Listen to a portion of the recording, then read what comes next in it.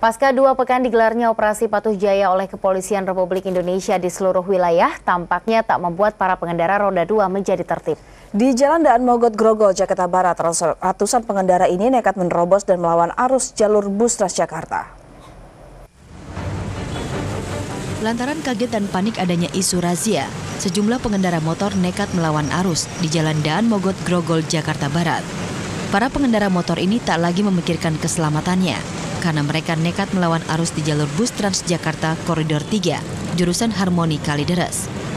Melihat banyaknya pengendara motor yang nekat, bus Transjakarta pun terpaksa berhenti untuk menghindari kecelakaan.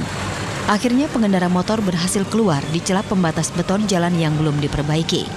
Menurut salah seorang warga, para pengendara motor ini nekat melawan arus jalur busway karena menghindari razia kendaraan oleh polisi lalu lintas. Oh ada razia? Oh ada lagi apa ya? Oh itu udah berapa banyak tadi motor yang lewat situ pak? Banyak itu. Banyak banget.